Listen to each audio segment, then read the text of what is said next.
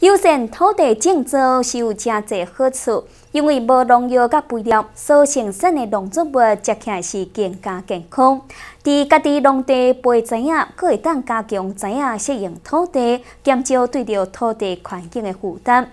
适当前，农民伊个性就倒来故乡水拿种植啊，并且宣导自然农法的观念，也透过网络来向大家推广。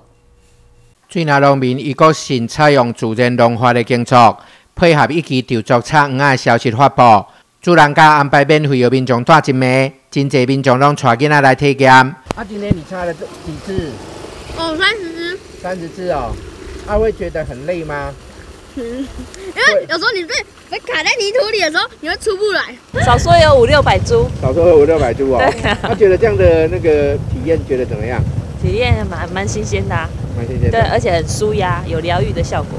就是从自然的造法到我们自己人工插秧，然后到那个机器做的，然后它的差别性，我觉得可以透过自己实做去体验，就是生态的部分。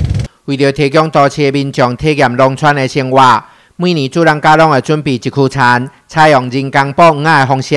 今年因为天气寒冷，加上烦恼的落雨。参加的民众减少真济，有时啊吼，真正是要做一寡自然农法，拢爱个向天奋斗。有时啊，我爱天老天爷帮忙啊，还好呢。昨天有稍微回晴，本来我们都是用人海战术去战胜体力的不足，结果我们这一次人更少。那还好，我们这这留下来这些还蛮。老实讲，还还值得骄傲，因为因遮的人啊，唔是干那来北混导游的。自然农法的耕作，种出健康的农作物，减少土地负担，得到真济民众的支持。虽然今年体验的民众减少，不过确实吸引真济野鸟甲蝙蝠的生态，互人感受到优胜土地的成果。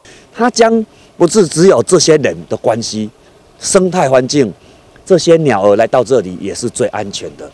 那现在也看到，呃，前上个月看到我们田附近都是小便痕，那现在也看到附近还有一些鸟都知道来这里等候，我觉得是好事。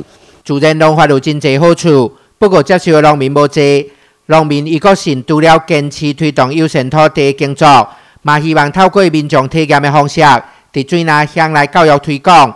记者黄龙坤采访报道。